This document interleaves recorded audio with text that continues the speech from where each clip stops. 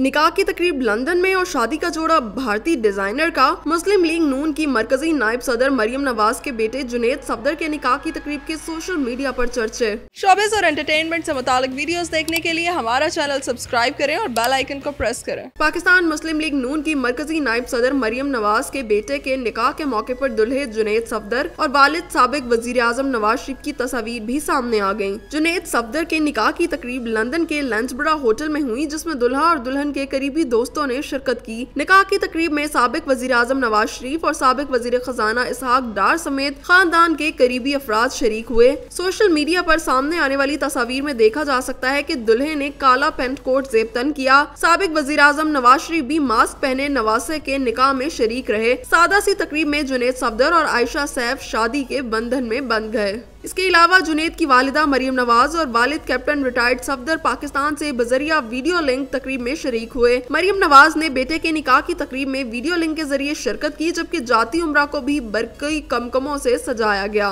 शादी की खुशी में जाती उम्र रायवन में भी तकरीब का अहतमाम किया गया। मरियम नवाज़, उनकी बेटी महरुनिसा, शहबाज शरीफ, हमजा शहबाज और दूसरे शुरा ने लंदन की तकरीब में ऑनलाइन शिरकत की। मुस्लिम लीग नून के कारकुनों ने जुनेद सफदर के निकाह की तकरीब में ढोल की थाप पर भंगड़े भी डाले और एक दूसरे में मिठाइयाँ भी तकसीम की। सोशल मीडिया पर जुनेद सफदर की वालदा मरियम नवाज़ ने बेटे और बहू की तस्वीर शेयर करते हुए उनके लिए नेक ख्वाहिशात का इजहार किया, जबकि इस दौरान मरियम नवाज़ की बहू आयशा सैफ का ब्राइडल जोड़ा भी मौजूद बहस बना रहा। मीडिया रिपोर्ट्स में कहा जा रहा है की आयशा सैफ ने भारत के मकबूल और मारूफ डिज़ाइनर साबिया साची का तैयार करदा ब्राइडल ड्रेस पहना। तस्वीर में आयशा सैफ को हल्के गुलाबी रंग के दिलकश लहंगे में मलबूस देखा जा सकता है और ये भारतीय तर्ज का जोड़ा था, जबकि साबिया साची के ऑफिशियल इंस्टाग्राम आरोप मौजूद दुल्हन की तस्वीर में भी लड़की बिल्कुल इसी तर्ज का लिबास जेबतन किए हुए है। भारतीय वेबसाइट वेड में गुड के मुताबिक साबिया साची के अरूसी लिबास की कीमत का आगाज़ तकरीबन तीन लाख भारतीय रुपए से होता है, जबकि काम की नफासत और अंदाज के मुताबिक इसकी कीमत में इजाफा होता रहता है। रिपोर्ट के मुताबिक दीपिका पाडुकोन का अरूसी लिबास तकरीबन बारह लाख भारतीय रुपए का था, जिसे साबिया साची ने तैयार किया था। इससे कबल कई बॉलीवुड की दो शजाएँ साबिया साची का तैयार करदा लिबास अपनी शादी के लिए मुंतखब कर चुकी हैं, जिनमें दीपिका पडुकोन समेत गुलकारा नेहा कक्कड़ और अदाकारा अनुष्का शर्मा शामिल हैं। याद रहे कि पाकिस्तानी मारूफ अदाकारा महविश हजात के भाई दानिश हजात और उनकी अहलिया मॉडल और अदाकारा फायजा अशफाक ने भी अपनी शादी के इवेंट में भारतीय डिज़ाइनर साबिया साची के डिज़ाइन करदा जोड़ों में मलबूस नज़र आए थे। तकरीब में दुल्हन फायजा अशफाक ने जो जोड़ा जेबतन किया था, ये वो लहंगा था जो बॉलीवुड अदाकारा अनुष्का शर्मा ने अपनी मेहंदी की तकरीब में पहना था।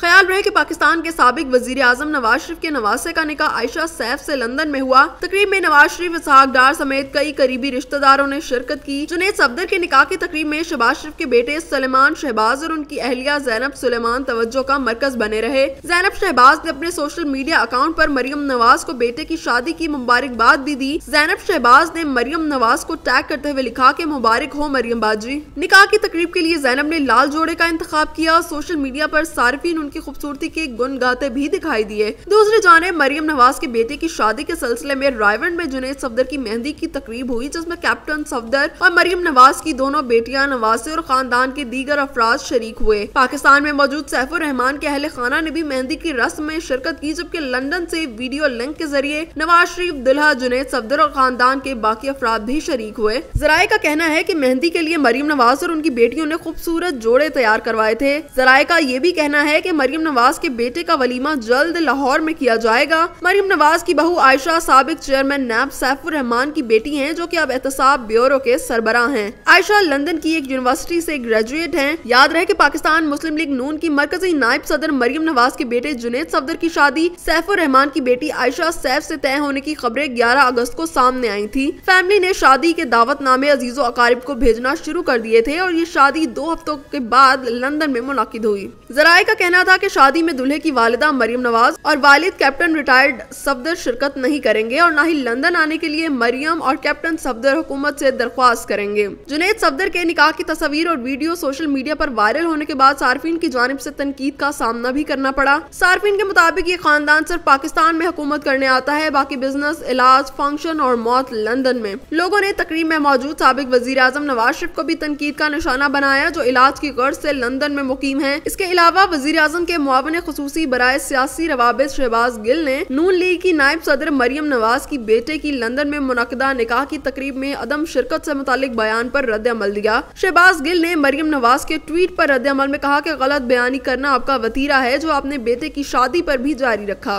अवाम को सच बताएँ, किसी प्रॉपर्टी के बारे में आपने कहा था कि मेरी तो लंदन क्या पाकिस्तान में भी कोई प्रॉपर्टी नहीं है। शहबाज गिल ने यह भी कहा कि न सिर्फ़ ये, बल्कि कैलबरी फॉन्ट से जाली कागजात मुल्क की अदालत में जमा करवाए जिस पर सजा हुई और, अब लंदन नहीं जा सकती। वाजह है की सबक वजी अजम नवाज़ शरीफ की साहबजादी मरियम नवाज़ ने अपने बेटे जुनेद और सैफुर रहमान की बेटी आयशा सैफ के निकाह का दावतनामा शेयर करते हुए निकाह में अदम शिरकत की तस्दीक की थी। उन्होंने कार्ड के साथ दिए गए पैगाम में कहा था की मेरे बेटे जुनेद का सैफुर रहमान की बेटी आयशा ऐसी बाईस अगस्त को लंदन में निकाह है। बदकिस्मती ऐसी मैं इस तकरीब में शिरकत के काबिल नहीं हूँ। उन्होंने अदम शिरकत की वजूहत दर्ज करते हुए कहा की सरी इंतकाम जाली मुकदमा के बायस मेरा नाम ईसीएल में शामिल है। मेरी वालिदा का इंतकाल हुआ तब मैं जेल में थी और अब अपने बेटे की खुशियों में शरीक नहीं हो सकूँगी। उनका कहना था कि मैं इस हुकूमत से बेटे के निकाम में शिरकत के लिए बैरून मुल्क जाने देने की दरख्वास्त नहीं करूँगी। मैं अपना मामला अल्लाह ताला पर छोड़ती हूँ। याद रहे कि निसा की शादी चौधरी मुनीर के साहिबजादे राहील मुनीर के साथ 2015 में हुई थी, जबकि निकाह की तकरीब मस्जिद नबी सल्लल्लाहु अलैहि वसल्लम में हुई थी। निसा की रुखसती जाती उम्र रायवन से हुई थी, जिसमें भारतीय वजी